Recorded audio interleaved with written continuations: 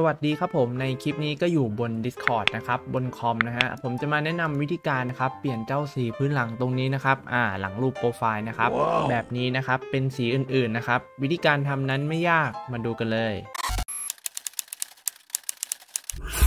อย่างแรกนะครับให้เพื่อนๆเนี่ยเปิด Discord ขึ้นมาก่อนนะครับ แล้วก็ไปที่รูปเมนูฟันเฟืองตรงนี้นะครับที่อยู่ในกรอบสี่เหลี่ยมสีแดง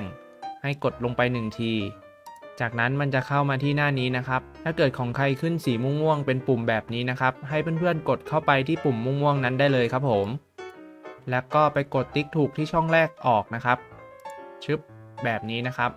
แล้วก็ให้สังเกตที่เมนูทางด้านซ้ายมือตรงนี้นะครับ ให้กดไปที่เมนูแรกเลยครับผม My Account หรือว่าบัญชีของฉันนะครับ ให้กดลงไปได้เลย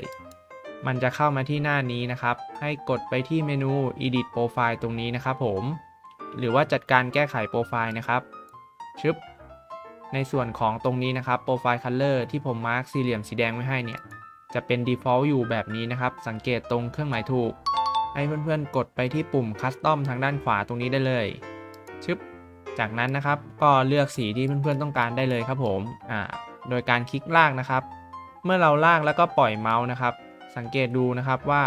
สีในส่วนนี้ก็จะเปลี่ยนตามไปด้วยนะครับผมอืมแล้วก็ตรงนี้เรายังสามารถเลือกสีได้นะครับ ว่าเราต้องการเป็นสีโทนไหนนะครับชืบชืบแบบนี้นะครับผม เมื่อเราได้สีที่ต้องการเรียบร้อยแล้วนะครับ เราก็คลิกไปที่โล่งๆหนึ่งทีครับผมชึบและก็สังเกตตรงด้านล่างนะครับ มันจะมีปุ่มสีเขียวๆอยู่ ที่ขึ้นว่า Save Change หรือว่าบันทึกการเปลี่ยนแปลงนะครับ ให้เพื่อนๆกดไปหนึ่งที